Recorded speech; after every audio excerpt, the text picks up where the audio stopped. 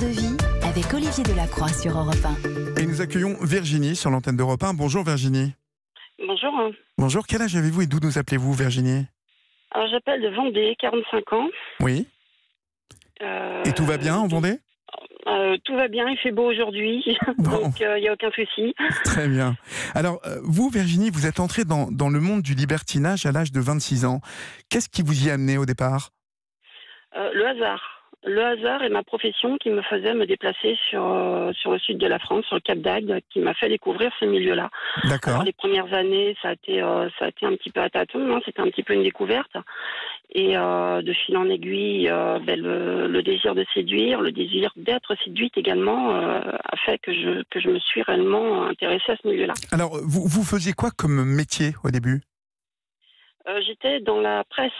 D'accord. Et donc, pourquoi être amené à, vous être euh, intéressé au Cap d'Agde, à y venir souvent? Parce que le Cap d'Agde, je le précise, est un, est un des points euh, voilà, où euh, les, adeptes du libertinage vont parce qu'il y a beaucoup de, Il y a des plages, des clubs, en tout cas, euh, même des camps. hein. Le, fait que ce soit professionnel qui fait que, que, je, me- que je me suis retrouvée dans, sur, sur ce, sur ce lieu-là. quoi. Mhm. Et c'est le, le soir, euh, voilà, bon, entre amis, entre, entre confrères, on sort et, et on découvre un petit peu ce, ce monde qui à l'époque était tout nouveau pour moi. D'accord. Et, et vous avez accroché tout de suite?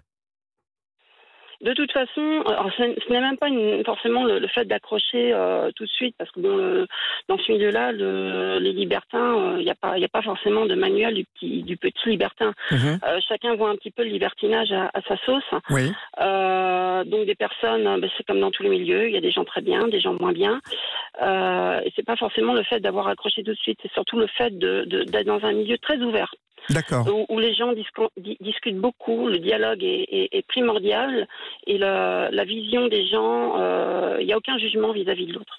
Est-ce que euh, on peut dire que dès le début, vous y avez trouvé euh, votre concept, votre philosophie, en tout cas celle euh, que vous euh, vous étiez imaginé être euh, euh, de pratiquer euh, Non, euh, de vos tout, pratiques sexuelles? Au début, c'était plus de la. C'était nouveau, c'était plus de la curiosité, c'était plus que c'était quelque chose de tout à fait nouveau. C'est au fur et à mesure des années où, où on se découvre, Mhm. euh, et après, bon, le, le, le rythme, la vie faisant, ben, j'ai j'ai coupé un petit peu au bout de quelques années avec ce milieu-là. Vous vous êtes marié, vous Euh, avez eu des enfants? Voilà, tout à fait. Et, et je dirais que c'est un petit peu comme le vélo, quoi. Ben, on remonte dessus et, et on n'a pas oublié de pédaler, quoi. Donc, Oui. euh, Sauf, donc, sauf voilà. que, sauf que lorsque vous êtes marié et que vous avez des enfants, le vélo, vous l'avez laissé un peu au garage, si je puis m'exprimer ainsi, et parce que votre mari ne voulait pas, il, n'était pas au courant euh, de, ce goût pour le libertinage ou, ou il n'avait pas envie de pratiquer?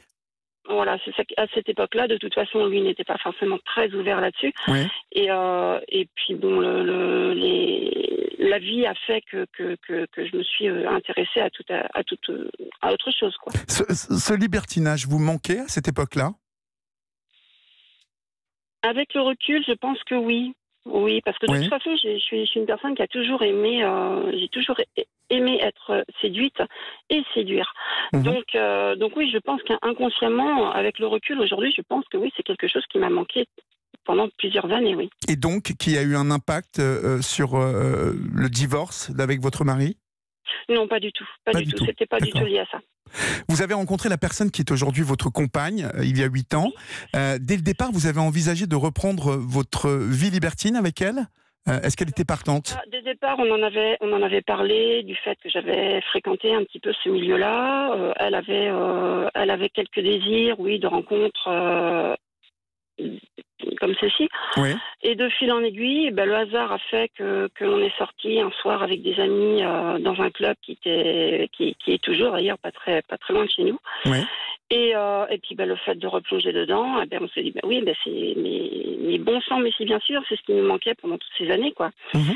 Et, et puis ben, on a replongé, enfin j'ai replongé dedans, j'ai entre guillemets fait découvrir, euh, découvrir un petit peu ce, un petit peu ce milieu à ma compagne et euh, et, on, et du coup on, ça se passe très bien. Après il n'y a pas forcément de solution miracle, je dirais, si ce n'est le dialogue, beaucoup le dialogue.